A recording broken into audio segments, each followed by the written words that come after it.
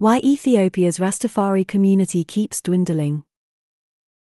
Rastafarians from around the world have been settling in Ethiopia for the last 50 years, after being given land by Emperor Haile Selassie. Today, life in the Promised Land is far from the paradise they had imagined. A purple tint covers the evening sky over Shashamane, home to Ethiopia's remaining Rastafarians. Inside the house of the Ethiopian World Federation, EWF, a few Rastafarians are watching a documentary about how science is threatening people of color. Yeah, that's right, they mutter now and then. In the front row, Ras Paul, wearing a red, yellow, and green beanie, is in charge of the projector. Initially, the EWF was a black organization, not a Rastafarian one, said Ras Paul, the only employee of the place. The federation was launched in the US in the 1930s to support Ethiopia during the Italian invasion and to promote black unity. After World War II, Ethiopia's Emperor Haile Selassie granted 200 hectares of land to descendants of slaves who wished to find a home on the continent. The EWF was to administer and attribute the land in Shashamane. We can only gain political power if we become self sufficient and rule ourselves, and the only way we, people of color, can do that is to return home to Africa, Ras Paul explained. Ethiopia's Emperor Haile Selassie was hailed by Rastafarians as the Messiah who would unite Africa. Whereas the Rastafarians were not the only ones being targeted by Selassie's land donation, they ended up being the vast majority to undertake the journey from Jamaica and other countries to Ethiopia. Haile Selassie was widely viewed by Rastafarians as the Messiah who would one day bring them back to Africa.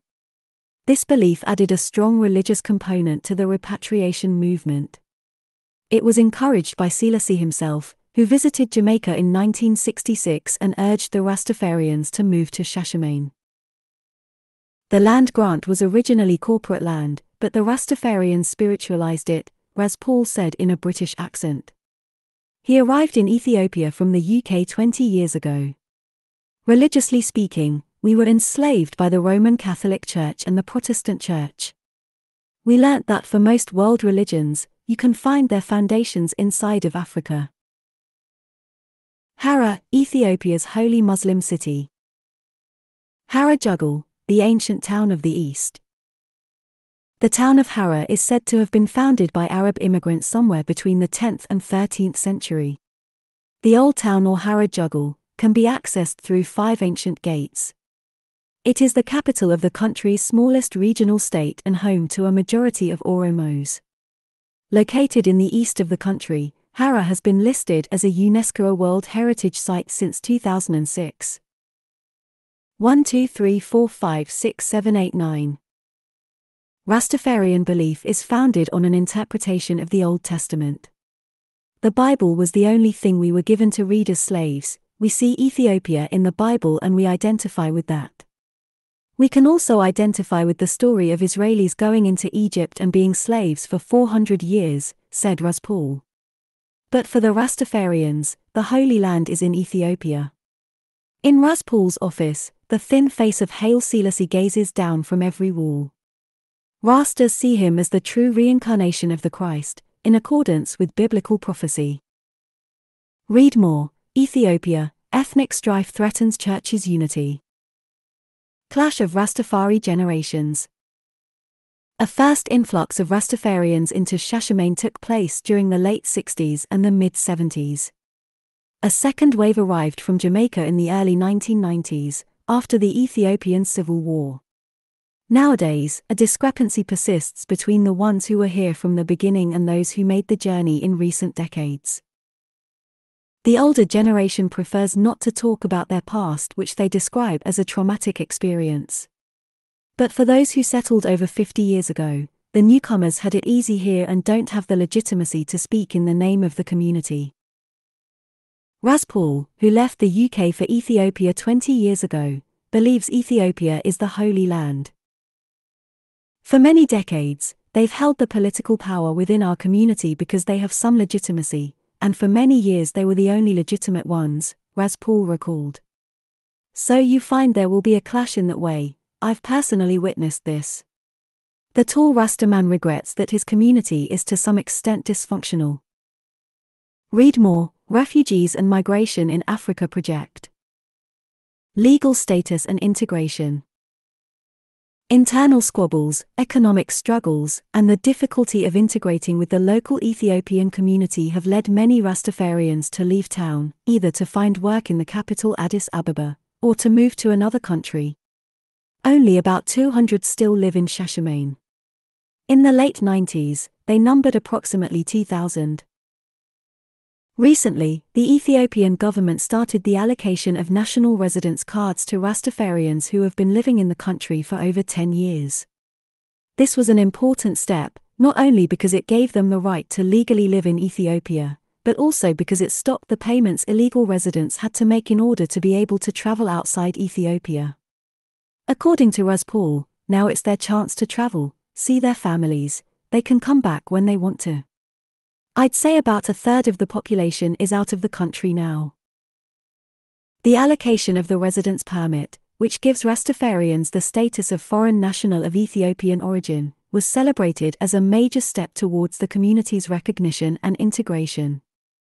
They now have the right to work and can legally send their children to school. But it is not enough for some. I consider myself to be an Ethiopian returned home, and I have no desire to leave this country to live anywhere else, Ras Kawintseb, who born in Trinidad and Tobago, said. Most of Ethiopia's Rastafari community made the long trip from the Caribbean to Africa, as this map by Ras Kawintseb shows.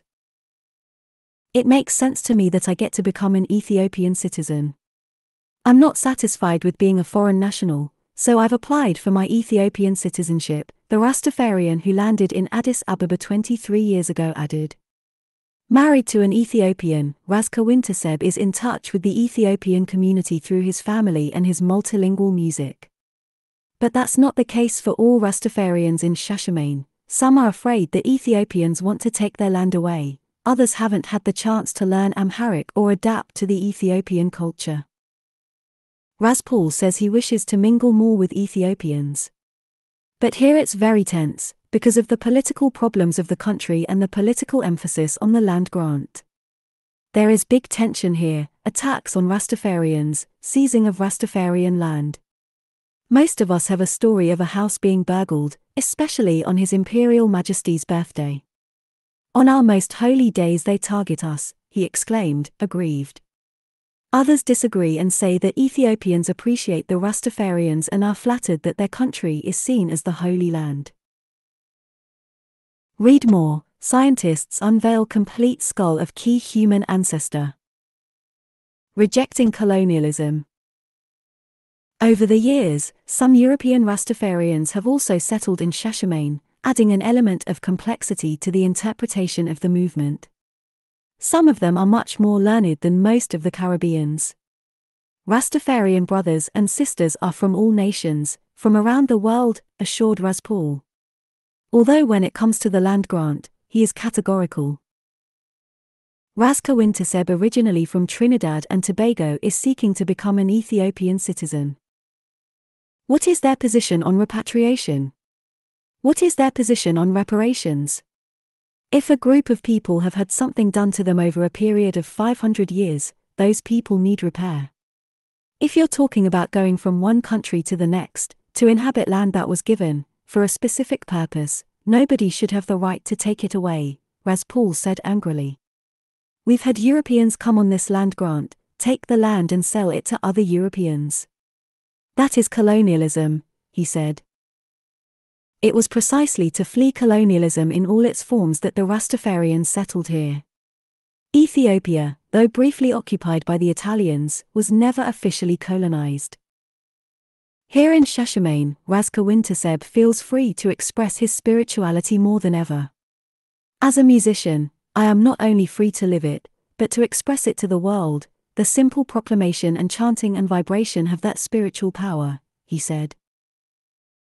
We're not taught in school, or hardly ever, about basic ideas of your inner mind, your inner being, said Ras Kawintseb as he climbed into his favorite tree for his daily reading routine.